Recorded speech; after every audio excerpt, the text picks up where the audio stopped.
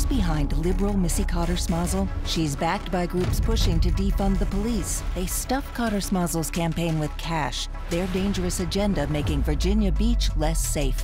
So why do these radical groups invest in Cotter Smasal? Missy Cotter Smasal endorsed another liberal extremist aiming to end cash bail nationwide, endangering our streets. Liberal Missy Cotter Smasal, surrounded by all the wrong people. Congressional Leadership Fund is responsible for the content of this advertising.